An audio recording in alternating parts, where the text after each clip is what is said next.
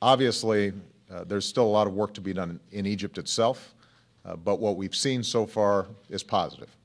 Uh, the military council that is in charge has reaffirmed its treaties with countries like Israel and international treaties. Uh, it has met with the opposition, and the opposition has felt that it is serious about moving towards fair and free elections. Uh, Egypt's going to require help uh, in building democratic institutions and also in strengthening an economy that's taken a hit as a consequence of what happened. Uh, but so far, at least, uh, we're seeing the right signals uh, coming out of Egypt. There are ramifications, though, throughout the region.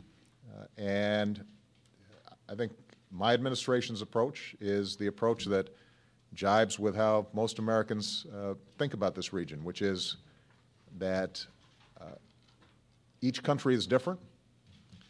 Uh, each country has its own traditions. America can't dictate uh, how they uh, run their societies, but there are certain universal uh, principles that we adhere to. One of them is we don't believe in violence as a way of, and coercion as a way of maintaining control.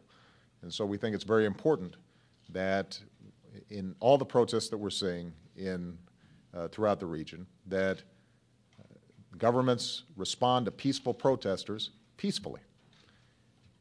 The second uh, principle that we believe in strongly is, is, in the right to express your opinions, uh, the freedom of speech and freedom of assembly uh, that allows people to share their grievances uh, with the government and to express themselves in ways that hopefully will, over time, meet their uh, meet their needs.